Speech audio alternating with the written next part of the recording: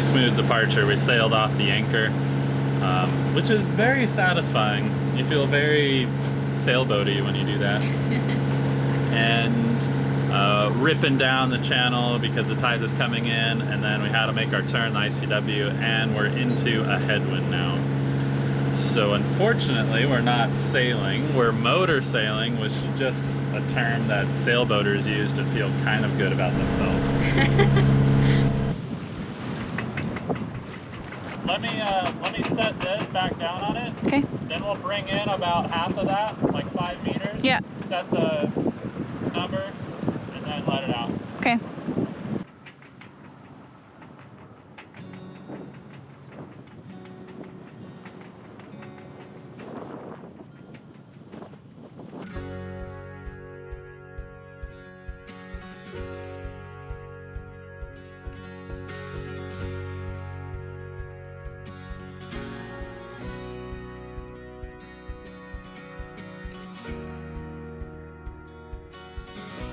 Well, we're here at a beautiful anchorage, but before we explore, I'm gonna do some boat projects. So when we sailed down here, the rudder quadrant was leaking a bit of water. So I need to pull apart the quadrant and repack it. So she's holding the rudder now that there's no stops because we're in a rolly anchorage. And now I can remove this nut and some safety wire and we'll go from there.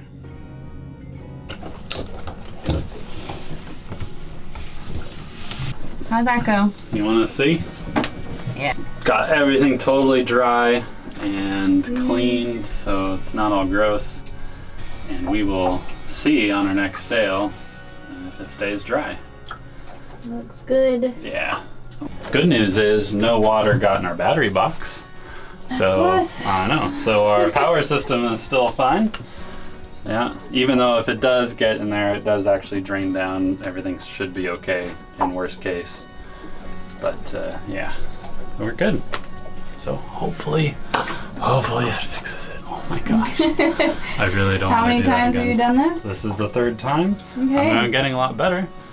Uh, and this time, like I, the way I cut the stuffing was like in a diagonal, and I think it makes much better contact. And the stuffing was properly sized. I think I had undersized stuffing before, and then the first time I had oversized stuffing. So, knock on wood, touch wood, whatever the hell people say. Let's hope this works. Hell yeah. Yeah. Cheers! Oh my gosh. Cheers.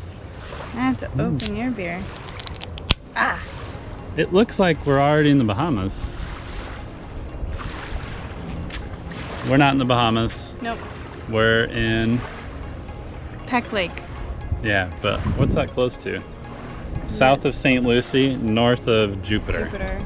Yeah, That's it. just off the ICW. And so our panda boat is just anchored out yonder. Nice anchorage here in Peck Lake.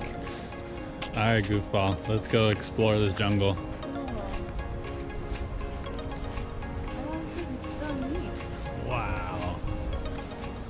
Ooh, nudity on the beach or in public is prohibited. Lame. Welcome to Hobe Sound. Hobie? Okay, Hobe? so we're in Hobe Sound. That's where we are. Between Stuart and Jupiter. So pretty. Gorgeous. Oh, it's the open ocean. Whoa. That's like a whole beach to ourselves. Whoa. Oh, this is gorgeous. Wow.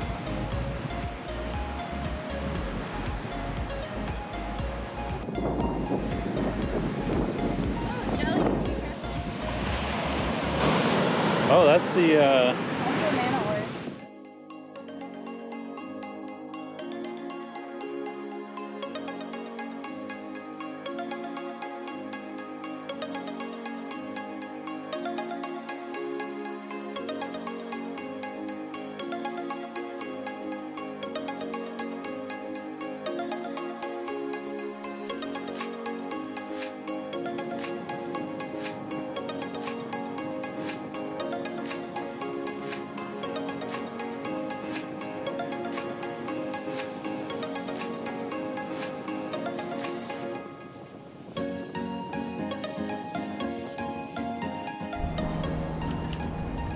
you got?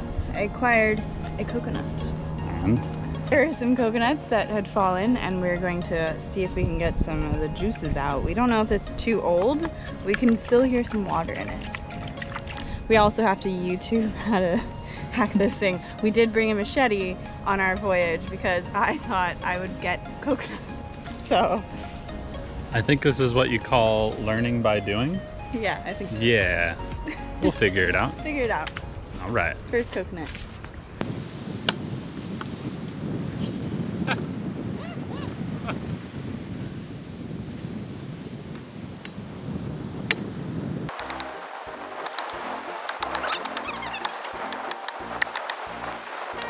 feel like our machete needs to be a little sharper.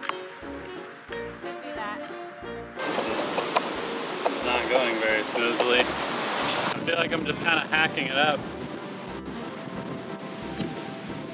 Now I see why Tom Hanks had such a problem in Castaway. These things are a pain in the ass. I don't know what that part is. That's really dense though. There it is. There's some whiteness. I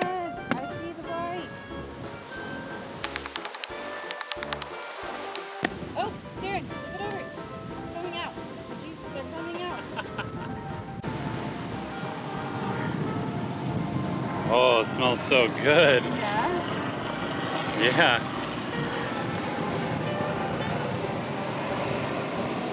Good. Yep. That's just like coconut. Fruit of the gods. Oh. Oh, it's so fresh.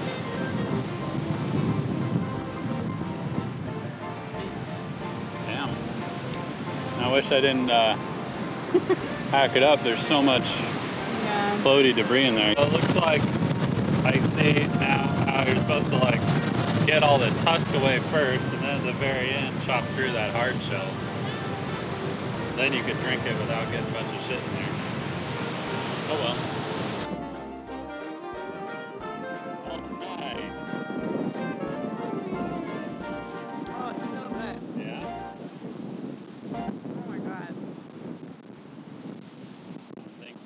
Her snack.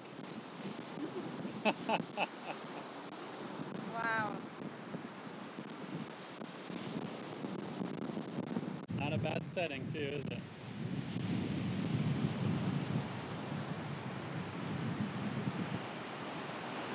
Wait, what happened, Darren? Holy cow. We're trying to leave that fuel dock and there was a, a powerboat in front of us. We thought we'd be able to like get our bow off in the wind and clear it. The wind just pushed us right back. But we both did really good at now like pushing the entire weight of Panda Boat past this motorboat and uh, and those guys came out and helped push our boat clear too. And oh, it's really hard as we have our solar arch in the back and that thing really sticks out when we turn. We didn't touch anything, totally clear. Apologize to those guys. Oh, that was super tough. Yeah, we should have just waited for them to leave, and then we would have had a much clearer approach. And of course, there would be nothing to hit if we did, other than just the dock. So, uh, yeah. So lessons learned. Lessons learned. Again. But that's going to be our last docking experience for a long time. I hope so.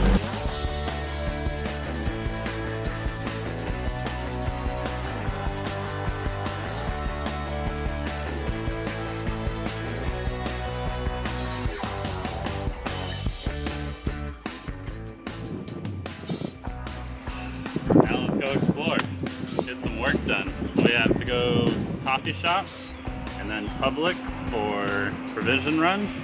And I think that's it. Taxes at the coffee shop. We need to download things, we need to do taxes, and upload our third episode. Yeah.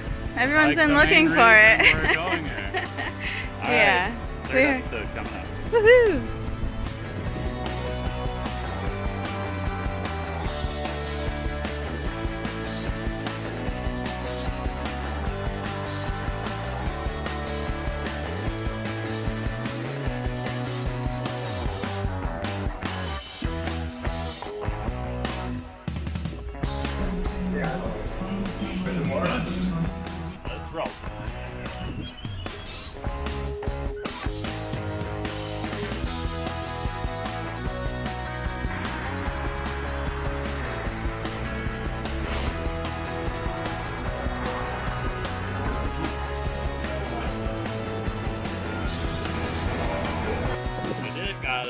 Back from Publix. Christopher, he is super nice. We run all our errands today. We feel very accomplished. And it's only like 2 in the afternoon, so maybe we'll have some time to chill. I hope so. Yep. So yeah, we had a bit of anxiety, at least I think we both did. Yeah. I don't know, I think just going, we've been on the boat for like a week and we haven't left it, so just leaving it, it makes us anxious. And then getting in like a busy city center and all the hustle and getting cars and Ubers, it's uh, a little overwhelming. Yeah. So I think it'll feel good when we have a beer and we're sitting on our boat again. Definitely.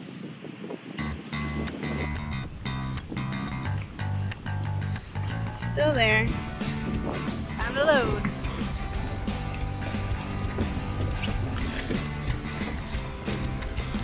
We are waiting out the law. breaking the law, law. So technically, our tender isn't registered in the state of Florida. If you put a motor on it, you're supposed to register it. We just haven't done that yet. So there was uh, there's a lot of like little patrol boats, and oh my gosh, there's manatees. And there's just manatees just hanging out right there. Anyway, uh, we're on Peanut Island. There's like beach party goers. There's a tiki bar, floating tent thingy. And uh, and anyway, Johnny Law is heading way far south. So yeah. So now we can get back to our boat. Yeah. I mean, we have everything legal. We even have uh, PFDs or life preservers, life jackets on board. We have everything you need, just not numbers on the boat. So. Yep. Go.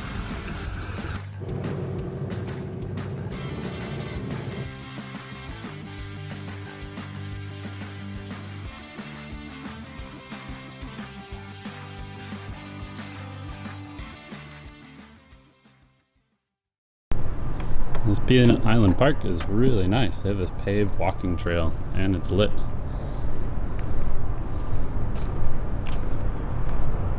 What do you think so far? Like it. It's really peaceful. Especially since there's just uh, cargo loading boats over there, industrialism, and it's really a juxtaposition against that. It's beautiful here. Little secluded island. Amanda and I have determined that this industrial area gives us total anxiety. Yeah, it does. I don't know why. I can't look, like when we're on our boat, I can't look at that side. I have to look at houses and the greenery, like on the other side. Something about the big ships, like big industry, it's probably really intimidating, maybe us being on a little boat kind of close by. And it just, uh, whoa, yeah. But on this side is like beautiful homes, so that's where we're gonna go check out. She's on a photography kick. I was thinking that it's weird. We're more like visitors to the land now. We're water based creatures and we're just visiting the land. It feels nice to be stationary and have a comfortable spot to sit where you're not moving, even though you think you're moving all the time. That's so true. I think also for our anxiety that we had yesterday leaving our boat, part of it was it was just really windy and kind of rough conditions. I think when today it's nice and calm, I think it calms our anxiety down as well. yeah, it's like you get more in tune with nature and your emotions like level out with the wind. Even though there's there's still a level of now constant, I think anxiety just No. about boat life. Yeah, but Com- compared to as- home. It's not as bad. We left the boat yesterday, like knowing that it was really rough. And Right. That's the first time we've left our boat in those rough conditions. Right. It's not rough, but rough to us. So I am looking forward to finally getting to. We're gonna sail to Biscayne Bay. It's in south of Miami. This place called No Name Harbor. It's a little famous for us because we tried to sail there our very first sail when we got the boat, and we were delayed with engine problems leaving the dock like first time. So we uh, ended up not going there. So it'd be kind of cool to actually like point our boat south and get there. It'd be pretty neat. Looking forward to a new anchorage and really just want to get to the Bahamas. So it just feels like we're constantly at this in between or this. yeah, this purgatory between uh, leaving for our trip and then the Bahamas. Yeah, it, this is nice. Don't get me wrong, but I just Yeah. feel like it's not it yet. We're still just doing the same thing, maybe just on a little vacation. Right. It's very annoying. I just want to be in the Bahamas already. Or know that I'm going to be there very soon. Yeah. We'll get there. Yeah. In the meantime, this doesn't suck.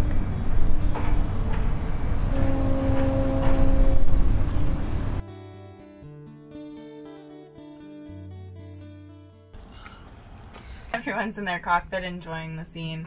Uh, yeah, and they could see my booty. Enjoying the scene. But, uh, Bud is right. Panda.